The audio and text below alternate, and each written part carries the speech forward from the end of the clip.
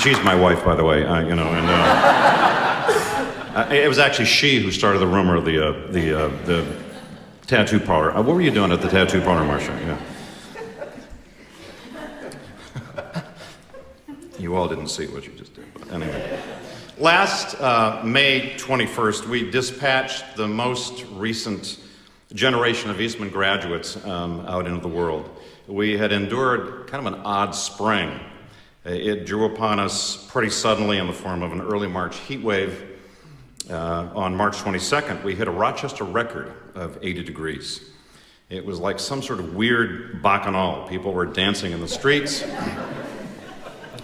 Tulip magnolias exploded into an extravaganza of white blossoms, and the city, after a long winter that actually wasn't, uh, became wild with color. but veteran Rochesterians, a, a very wily and skeptical breed, wagged their fingers at us to say, Beware, and they were right. Um, I recall a snowstorm a few days after that, and spring had tricked us, but then things normalized. Trees and shrubs and flowers regrouped, they reset their timing, as did we, and we retreated to an awesome summer, and we still are. For the new students uh, at Eastman, uh, new to Rochester, especially those students who grew up in the South, maybe in Louisiana or Florida, or the vast stretches of the Southern Plains in Arkansas and Texas, or the Southwest in Arizona and California, you'll notice that we in Rochester tend to talk a lot about the weather. And um, for those from the Sun Belt that are yearning for four good seasons, we'll show you a good four seasons. Uh, for the most part, you'll be smiling. Uh, late fall will be brilliant, uh, especially down on the Finger Lakes. Spring will be resplendent. I've already talked about summer. Did I mention winter? but just like the physical attributes of the seasons, there's a mood or personality to each of the seasons here at Eastman. And this time of year is one of our truly perennial favorites. It's a special time our faculty reconvene after a summer of festivals, master classes, or some kind of creative work on a piece of music.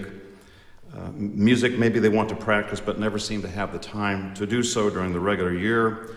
Work on books or articles. For many, it's a time of spiritual and emotional refreshment. A few faculty, yes, get a little obsessive about working on their short game on the golf course. You know who you are. But it's a, put your hand down, Mark, okay.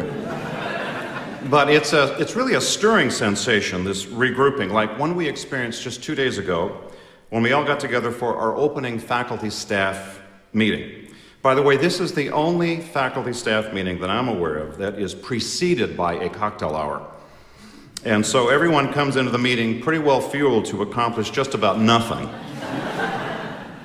but this sense of reconnecting is, is vibrant, it's palpable. We all set to work on what we know will be another stimulating year here at the Eastman School. We welcome in fresh new faces and personalities, you, and you students are full of optimism and excitement. Each new incoming class at Eastman brings with it a sense of renewal, and the knowledge of that very special personality of Eastman that we know will be changed very subtly with your presence here. Perhaps most notably, fall brings with it a renewed sense of why we're here in this remarkable thing called music. Among its many wonderful aspects, music is a powerful metaphor for life. Music teaches us about movement, about how movement possesses rhythm, about that elusive thing called balance, and how it's isn't achieved by standing still. Albert Einstein has a great quote that goes like this Life is like a bicycle. To keep your balance, you must keep moving. And that's just like music. And discovering music, which is what we really do, plunks us into a swirl of almost magical problem solving. Because there's something magical about, magical about trying to get things sonically just right. This artistic search is problem solving of a very high order. No advanced calculus or wordplay will really do the trick. Solving musical problems brings us close to the wisdom of directness and simplicity. We can be as complex conceptually as we want, but in the end, it seems to be about how minimal movements, slight changes in a musical point of view, can sometimes yield astonishing results. There's a great quote in Hilary Mantel's book called Wolf Hall, and the quote goes like this a simple rotation of the object solves a great many problems. Sometimes the search for music can be infuriating. If uh, either we want to play or compose or, or conclude an analysis in some grand, comprehensive, best selling sweep of gesture that will bring us equally grand satisfaction. But then we learn through constant practice and intensified awareness and a lot of self reflection that music is sometimes an accumulation of a great many subtleties, of small, simple motions accrued over time. Inevitably, though, we also have to engage in practical realities. It's a simple question. How do we translate what we do into something that takes us out of the practice room or solitary studio and immerses us in society, the very source of our music? That place out there is where music really, really matters. Even more to the point, how do we make things work economically? Now, many things comprise what we've come to call the Eastman advantage. One of them is our principled belief in learning the very foundations of music, its repertoire, its driving forces, be they historical or analytical or personal. Another is that we're heavily invested in musical entrepreneurship. This has part to do with the business or monetary concept, but a more fundamental, at a more fundamental level, with an awareness of how our music world is changing, really changing, and how do we then deploy that change into a forward moving music. It means having the courage to sit down and itemize those changes and stare at them for a while, and the courage to admit that maybe we haven't. And then, what do we do with the process of change? How do we internalize it? How do we turn it into yet another Eastman advantage for the benefit of current and future generations of musicians and listeners? Entrepreneurship, I think, at its very core, is a mindset where one's creativity and inquisitiveness are constantly in motion, conceptually and practically. Because if we lean so heavily on the nature of the way things have been done before, which ends up being kind of a justification for keeping things the same way, we ensure extinction. Entrepreneurship means constantly rotating the object in order to solve a problem. It means looking critically at the listening experience and having the courage to ask audience members, for example, what matters to them. About looking honestly at contemporary behavior patterns instead of bemoaning this. And we all do this, by the way. People's attention spans have become microscopic, or the public is only interested in cheap pap, or nobody's interested in the long form anymore we have to embrace the prospect that the repertoire, maybe, that we considered so sacred, maybe when we went to school, might in fact be evolving into quite another basic repertoire. Our own version of the great books debate. Entrepreneurship means being aware of traps, some that we set, in fact, for ourselves, like bemoaning the current state of affairs or lack of appreciation for the arts.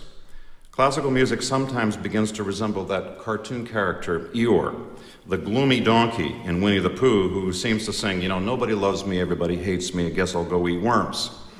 But rather than looking at change as the bane of our existence, um, we must see it as a set of brilliant opportunities. These opportunities present that great future for music for this generation, for you, our young music students. I'm in, in, the midst of reading a fascinating book by Walter Isaacson on uh, its biography of Albert Einstein. Isaacson, you may know, is the author of the much ballyhooed biography of Steve Jobs. Now, I've just slogged through chapters six and seven of the Einstein book, and I say slog because this is where Isaac, Isaacson tries to explain in terms that scientific simpletons like me can understand the basics of Einstein's physics work. You know, simple rudimentary things like light propagating ethers, or Brownian motion, or light quanta, the molecular theory of heat, or special relativity. For you new undergraduates, when you're screaming some night this fall about the confusing nature of a French sixth chord or some bizarre tonal relationship, pick up this book and go to chapter six so you can find out what complexity is really about. For Einstein, back in 1905, there was a four month period of almost unbelievable heated intensity. Einstein was a mere patent officer, and back in those historic four months, to quote Isaacson, he devised a revolutionary quantum theory of light, helped prove the existence of atoms, explained Brownian motion, upended the concept of space and time, and produced what would become science's best known equation, which of course we now know to be E equals mc squared. energy equals mass times the velocity of light squared. Einstein had single handedly upended the world of physics as it was known, all while enduring an astonishing number of hardships, rejections for teaching positions. Remember that when he wrote these papers, he didn't hold an exalted position in the academy. In fact, he held no position in the academy for a very long time, living not on lot, not much money and going through a very messy divorce, and by the way, playing string quartets on the weekend. The spectacular content and ramifications, though, of those papers being what they were and are had not Einstein seized uncertainty and change as an opportunity, the world might still be stuck. Einstein was transformation personified, his curiosity driving, his intuition on fire, but informed by everything he had gathered before. There's an alarming quote from Einstein on intuition. He said, A new idea comes suddenly in a rather intuitive way but intuition is nothing more than the outcome of earlier intellectual experience. And so, this is one of my points for what we do here at Eastman this fierce combination of not just music, but music making, or just music making, but it's how and it's why, its sources of music feeling and its form. And adding in the practical dimension of making your music matter. How to make music matter not just for the informed among us, but for those with whom we want to share our basic enthusiasm for music's greatest puzzles and pleasures. I'm afraid we've not done such a good job at translating our personal enthusiasm for what we hear as a great piece of music into the hearts and minds of those we feel are missing out on one of the world's great experiences. We can blame the collapse of the public school music programs or the awash in popular culture, but that translation issue is a key one for us. We have to retool our stage. We must become engaged in our communities, not, not on our terms, but on theirs. We must look at 2012 as a potential breakout year in spite of what appear to be some very, very dark economic realities. We cannot accept the status quo.